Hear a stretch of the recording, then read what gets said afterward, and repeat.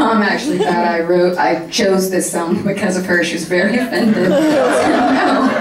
Oh my gosh, never. It's about myself. you were a great mom. It never even dawned on me. Should think that, so.